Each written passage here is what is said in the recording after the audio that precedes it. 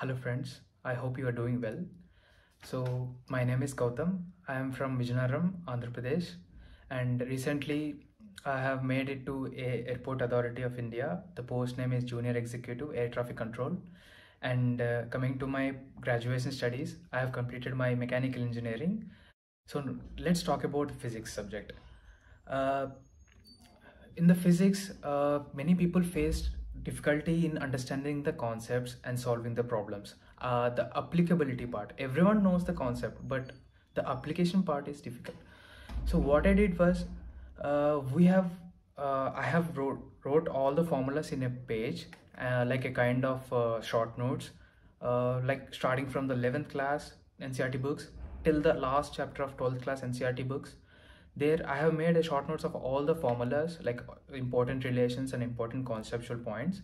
And then i start started attempting Testbook mocks which gives us a good uh, exam interface like app interface. So after getting uh, the first mock test after experiencing the first mock test i i have got disappointed because my score was so less. Then i have done uh, this error analysis uh, by which like they give the weak areas and the errors which we have done in the mock. So I have gone through the errors and I have rectified the concepts behind that. I have reread the concepts of those related mistakes from the book again and I have tried solving again. So then I have observed that uh, after getting a clear understanding of the formula application and the concept behind it, now I could able to solve those questions.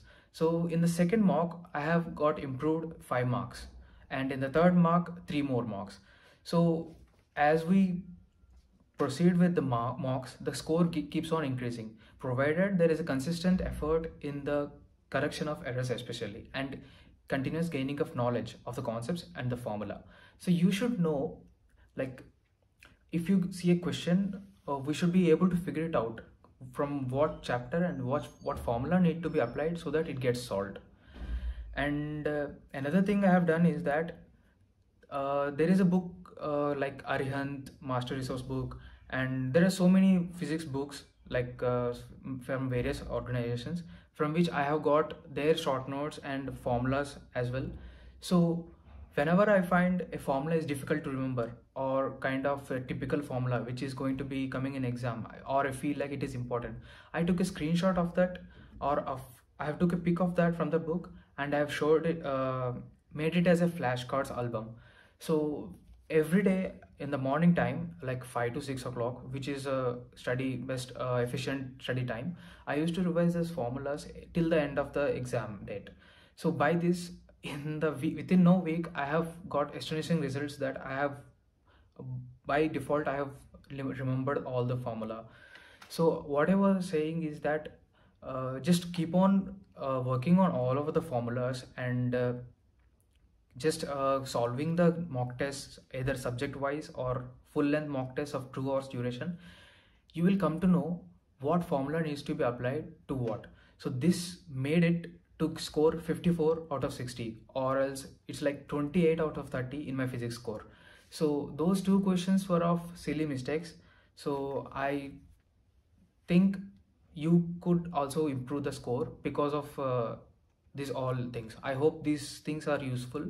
Like coming to the crux of the uh, talk let, let's say uh, flashcards error notes i mean error analysis of from the mock and uh, formula short notes. So this would help you in getting more score. So now let's go to the non-tech portion. That is general knowledge general aptitude general intelligence and english so let's come to the first thing, general knowledge. I didn't prepare much for the general knowledge because it covers a vast, GK is ocean. So I felt like there is no time to prepare for GK. So I recommend if you are at least uh, aware of the current affairs, that would be enough to score at 3 to 4 marks out of 10.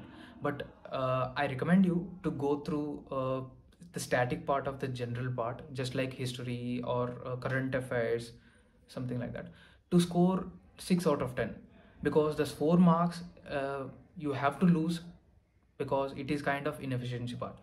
And the second thing general aptitude. For this i have referred rs agarwal sir's book uh, like uh, quantitative aptitude verbal reasoning non-verbal reasoning.